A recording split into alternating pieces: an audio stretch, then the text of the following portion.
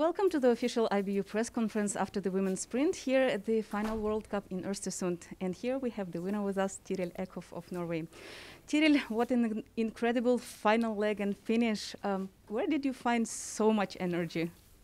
Well, I was very motivated because I was uh, some few seconds behind Dorothea and I, I, I was a little bit tired, but I knew if I fight good on the last downhill, uh, maybe I could manage to make it. So um, I was very, very happy when I did it. Entering this competition and knowing that the sprint globe is secured, total globe is secured, and maybe without some pressure, did you enjoy this competition? How, how much fun did you receive? well, I was actually a little bit nervous for today as well. So, uh, yeah, still there's a competition and I really want to end the season well because last season was uh, I didn't end so well. So I just wanted to just uh, stay in the flow and try to do as many good races as I can. Your seventh uh, win in sprint this season. What does it make so special about this discipline, and how was it to hold the small globe uh, which you received today? Well, actually, today is my 200 start in World Cup, and that's uh, a lot of races. So today was a little bit big to just just win on my 200 start of World Cups. And tomorrow is another chance for you to have double um, wins. How will you prepare? Will you um, set up uh, anything, or like, will you prepare more mentally or physically? Uh, what will you do? Well, I think everybody's tired now, so I'm just gonna try to uh, relax and eat well and do the recovery stuff and sleep, and then we will be on the start tomorrow. Thank you so much. Congratulations. Thank you. Second place with us, Dorothea Wierer of Italy. Dorothea, a real uh, Doro shooting show today. How did you enjoy this competition and how can you evaluate it?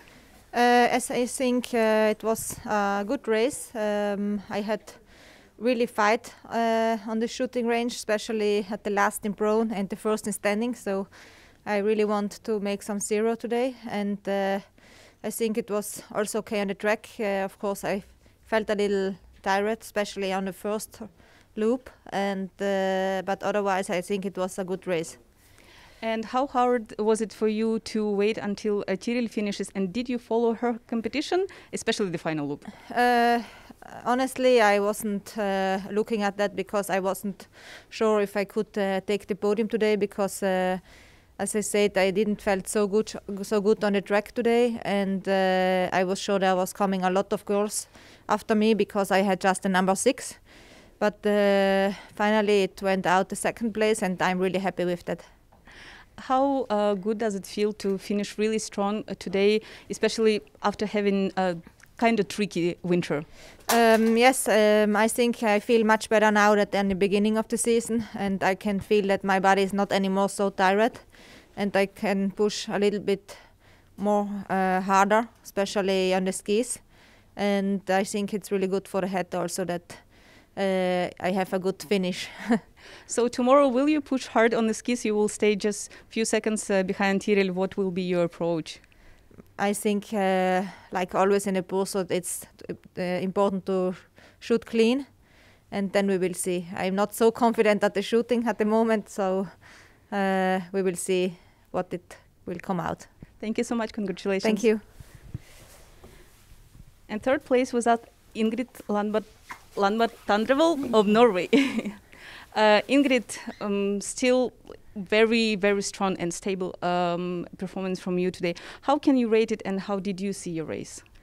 Uh, I was uh, actually a bit surprised that it was uh, a podium at the end because, uh, like Dorothea, I uh, didn't feel so so strong in the tracks, and I used a lot of time on the shooting range today. So um, I thought it was a good race and a good uh, starting position for the pursuit, but was really surprised and of course very happy when when it turned out as a podium place.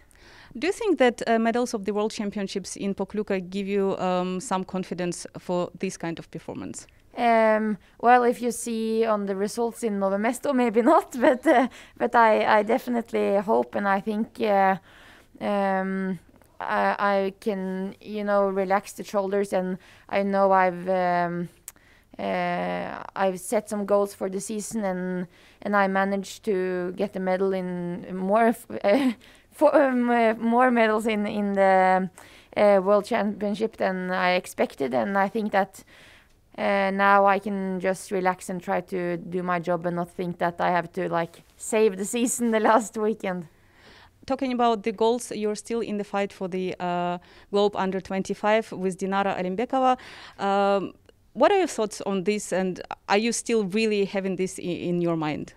Uh, no, I I just try to focus on doing a good race, and Alimbekova, she is in really good shape and had a really good uh, week uh, in Nove Mesto. So I think it will be really tough to beat her, but uh, yeah, I just have to do my best and uh, focus on every shot and uh, and try to hit as many targets as possible in the pursuit and the mass start.